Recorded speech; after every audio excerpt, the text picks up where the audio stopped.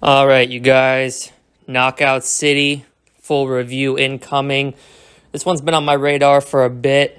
Um, I'm always on the lookout for those underappreciated games that could make more of an impact than most people perceive them as having the possibility of doing. So, without further ado, I don't like to make you guys wait. Let's go ahead and get into my full review and critical analysis of Knockout City.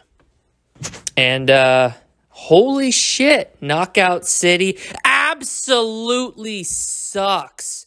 You want to talk about obliterating the gaming industry to the point where it is the laughing stock of the entertainment medium. Talk about replicating the most boring high school gym activity, dodgeball, in video game form. Who is this made for?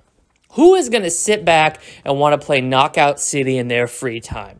Bunch of fucking dumb as dirt motherfuckers. The same people who enjoy shit like Call of Duty, Fortnite, Uncharted, God of War, Gears of War, Halo, all of these franchises that are dumb as shit. And they literally have to lower the gameplay. They have to bring everything down to the level of the common individual. And the common individual does not have a high IQ. Like the majority of you watching these videos, there are very few of you who can appreciate finer art, who can really delve deep into a gripping video game and analyze it on a critical level and read between the lines. Knockout City is not that type of game. Knockout City is made for you dumb motherfuckers who want instant gratification. Except I'm still left wondering why you would opt for this.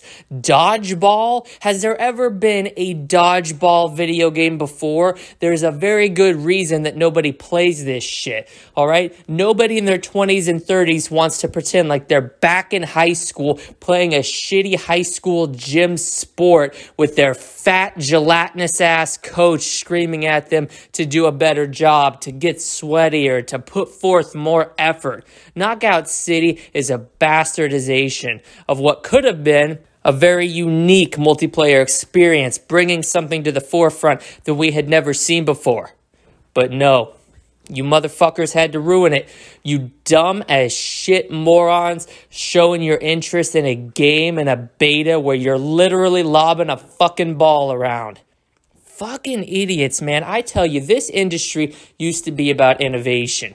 Now we're about milking everything dry. You know the idea well is bone dry when you see Virtual Dodgeball as one of, if not the biggest releases of May 2021 in video games. Resident Evil Village flopped. Mass Effect Legendary Edition, the pre orders are not where EA wants them. Quite frankly, the Mass Effect franchise we can safely assume is dead. Knockout City is what many video game analysts are predicting as being the breakout hit, not just of May 2021, but of the year. And that breaks my fucking heart. It obliterates it into a thousand pieces that you idiots are considering supporting a trash piece of dog shit game like this. You're going to further ruin this medium. It's a multiplayer focused title with gameplay that isn't fun. And if multiplayer games need anything, to propel them into relevancy as their lifespan goes on. It's hard hitting gameplay that keeps the player engrossed. These are not words I would use to describe Knockout City. The only words I can use about the only thing I can say about Knockout City is that it's completely a piece of dilapidated dog shit. It should have been shot in the fucking head and taken out back, buried at conception. This idea should never have come to fruition. The gaming industry is on a fucking gurney. It is about to flatline. And shit like this is just pushing the inevitable death of this entire medium forward. You idiots are going to sit here playing Knockout City while there are true, underappreciated gems of games out there. Games that are severely underrated that have come out this year, like Balan Wonderworld, which is front runner for Game of the Year 2021 at the only truthful, honest, objective, and logical video game reporting agency left in the world, Dead Metal.